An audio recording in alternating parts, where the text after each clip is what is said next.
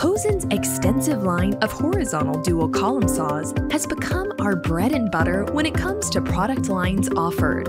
With saws that can cut up to 80 inches, our rigid dual post designs offer more support and stability during cutting jobs.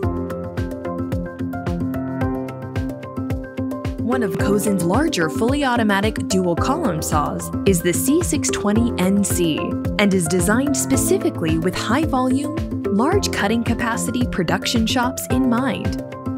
The 620 is a step up from Cosen's other automatic dual column saws, equipped with a 2 inch blade, a 10 horsepower motor, and allowing a round capacity of 24.4 inches and a rectangular capacity of 24.4 inches by 30 inches. With Cosen's NC control system, which allows you to easily store up to 100 cutting jobs, index material up to 999 inches, and easily control your workflow, all from an easy-to-use HMI touchscreen display, cutting jobs are made easier and more efficient. The 620 comes equipped with several features that are standard on all of our automatic machines.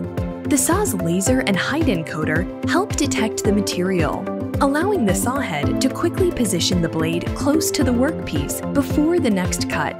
Cosen's Save a Blade feature is also included.